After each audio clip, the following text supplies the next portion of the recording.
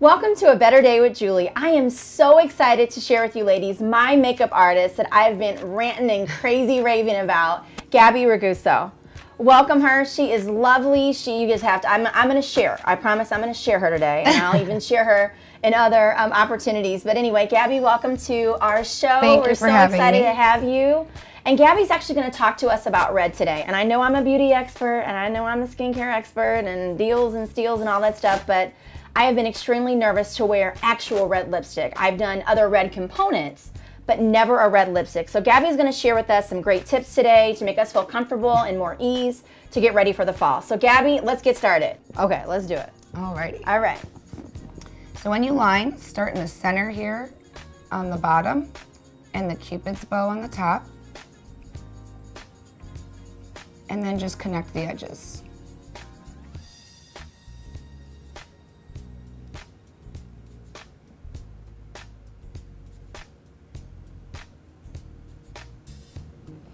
You can lightly fill in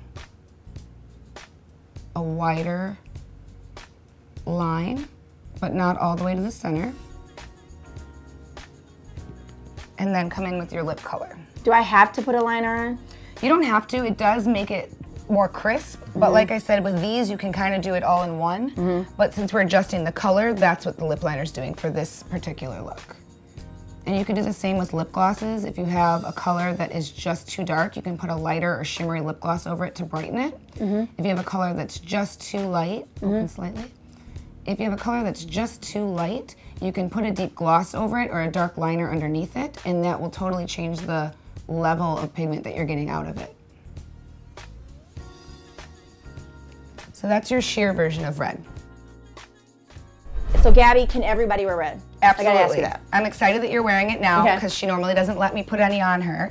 So what we used on her, I know there's a lot of versions and then we can get into more about why I have so many. Mm-hmm. What I used on you was a pure red lip liner, Okay.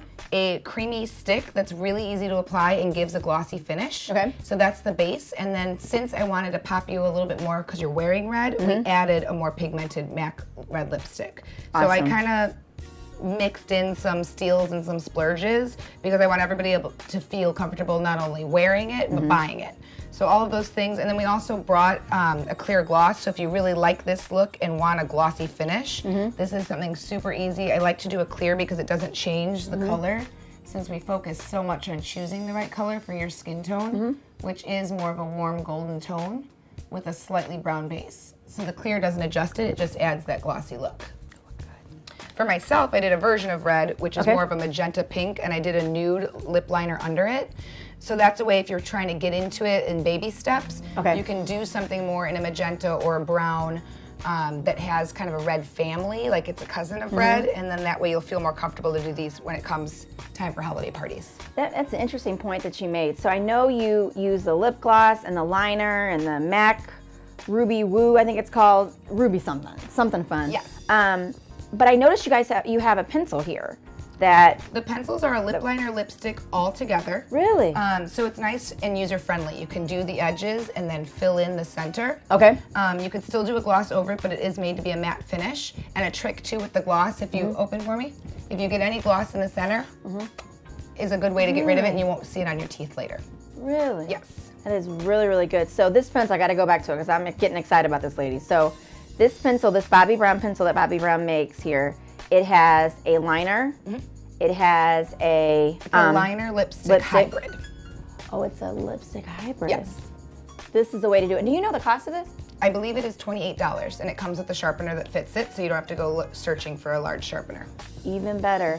So for those that are more lighter tone than myself, what is your recommendation to start with? You can do As a if you beginner? want something, if you're golden tone but lighter, you could do Mm-hmm. something more in the bright orangey family or even this because again, this is a red cousin, it's not a true red. Mm-hmm. If you're someone that wants that bold look and you don't know which side you fall in, cool or warm, you could do more of a true red. Not too much orange or pink in there and it's just gonna match everything you have and it should work on pretty much everyone's skin tone. Maybe not the very lightest or the very darkest, the majority of the spectrum should be covered. Awesome.